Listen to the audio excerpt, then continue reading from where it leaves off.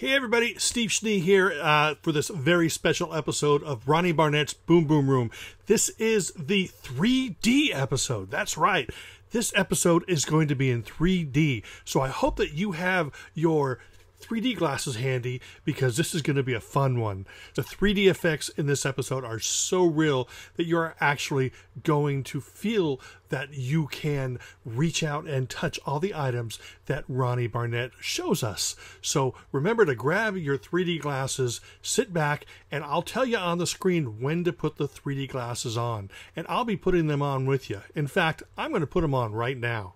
So enjoy this special 3D episode of Ronnie Barnett's Boom Boom Room coming at you now. Whoa.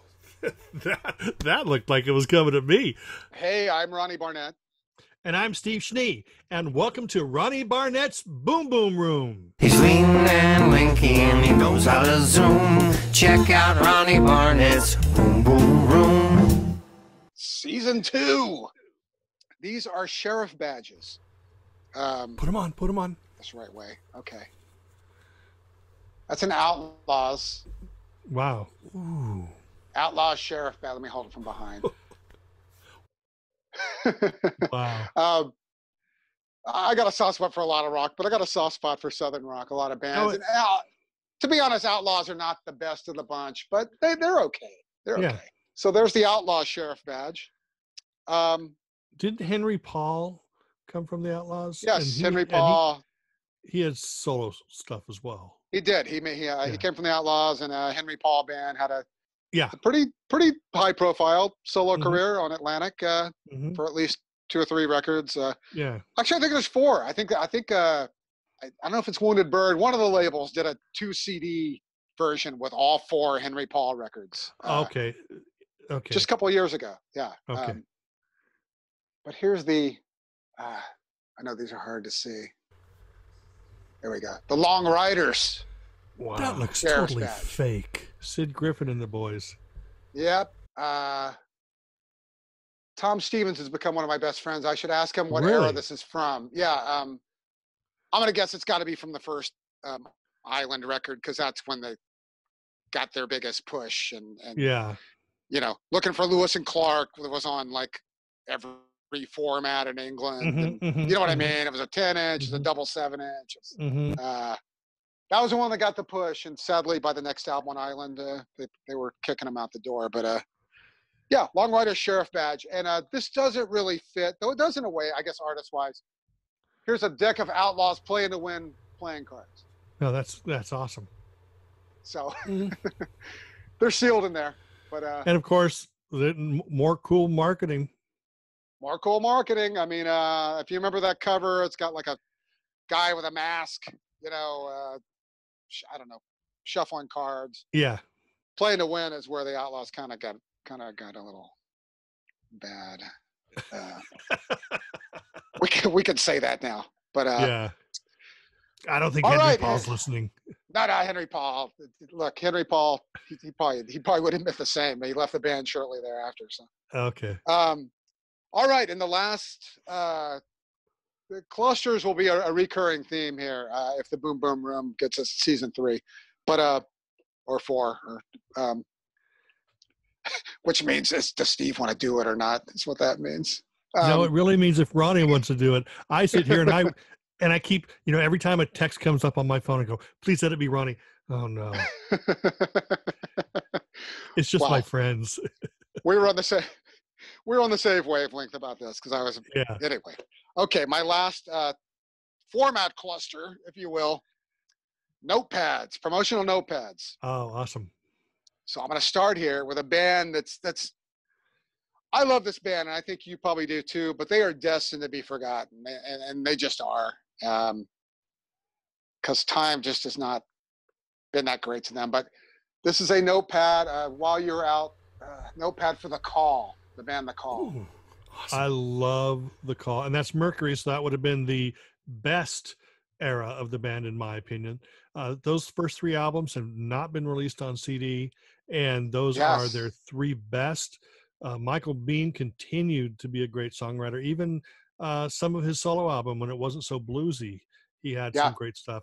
Right up, uh, you know, uh, just a great band from beginning to end.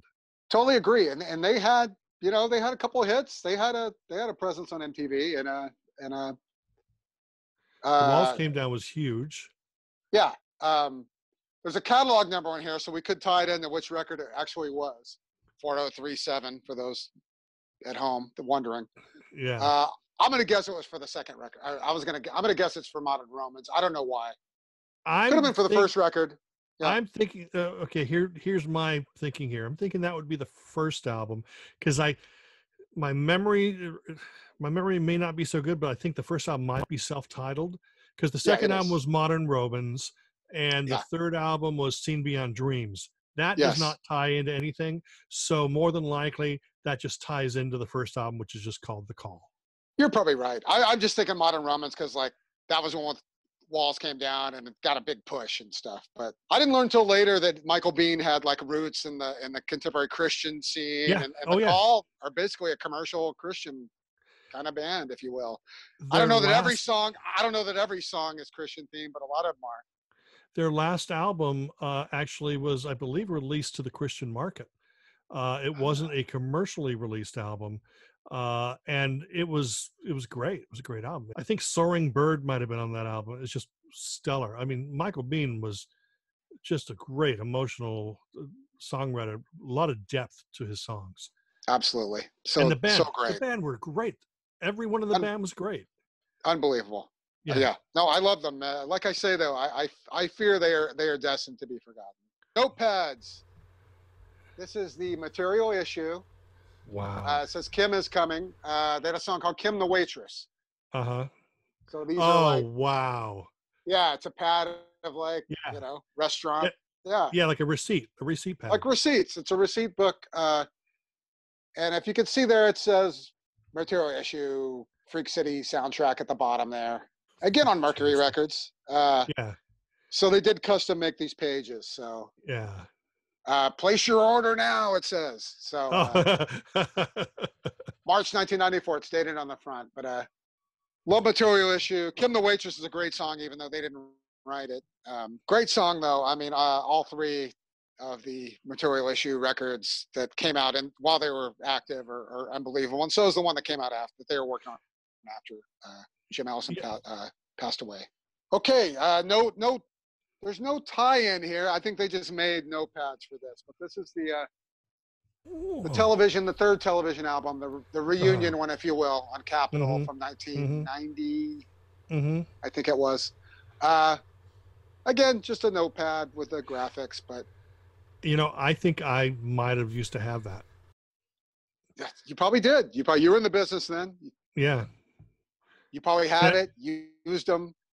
Yeah. I Um, mean, I, I don't know when I haven't been in the business. It's, I've been in the business since I started at Abbey Road Distributors in like 1988 or whatever, and I've worked retail or wholesale ever since in the music Yeah. business. You're a And I- lifer. and I've kept absolutely nothing. Um, all right, I got one final notepad here. Okay. Uh, and I'm I can't wait to get your thoughts on this band, Steve.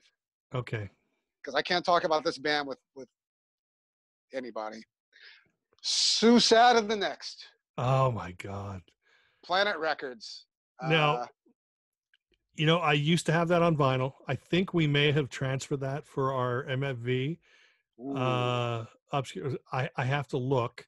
Uh, but I literally have not heard that uh, album in years. Now, here's here's a crazy stupid thing. Well, there's many stupid things about me, but I had two things. Is is is uh, back in the new wave days, I never paid attention to any band where anybody had a mustache okay, yeah, because if they had short hair, mustache, whatever, I automatically thought of like Kansas during the new wave era. Well, they all had short hair and they wore day glow outfits and uh, high tops, but they had mustaches, right? You know, it's Yeah. just like, you know, there's somebody says, you know, you got to change your image. And, you know, imagine, you know, Sue Saad the next, you know, they bring in this guy who's got long hair and it's like, look, you got to cut your hair and you got to shave off your mustache. And the guy's just going like, I cut my hair, but the mustache is staying. You know, exactly. and- And Yeah. usually the guy with the mustache is the most talented guy in the band because it's like, all right, All right. Okay. You can have the mustache because you're a great guitar player, a great keyboard, or you write the, The keyboard. It,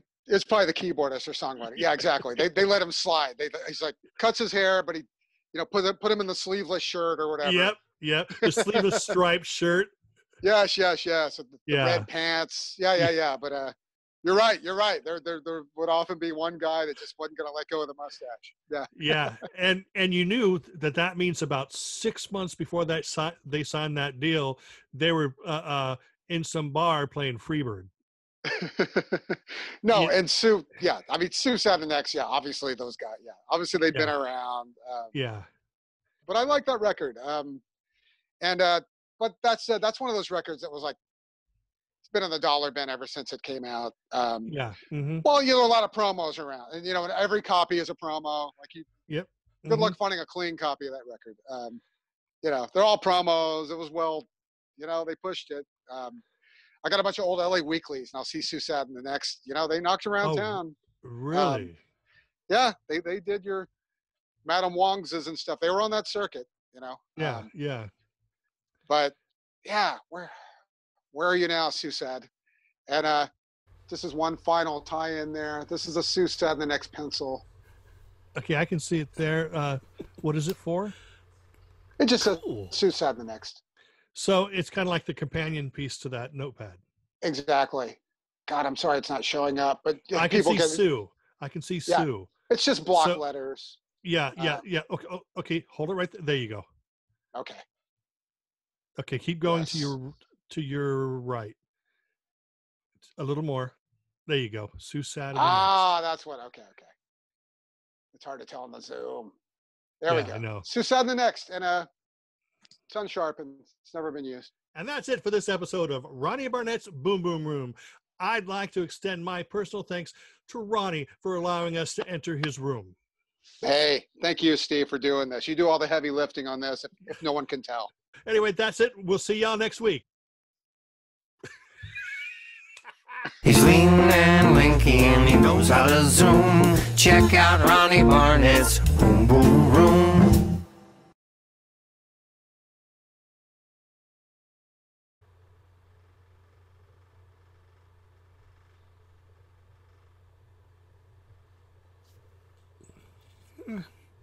The effects were okay on that.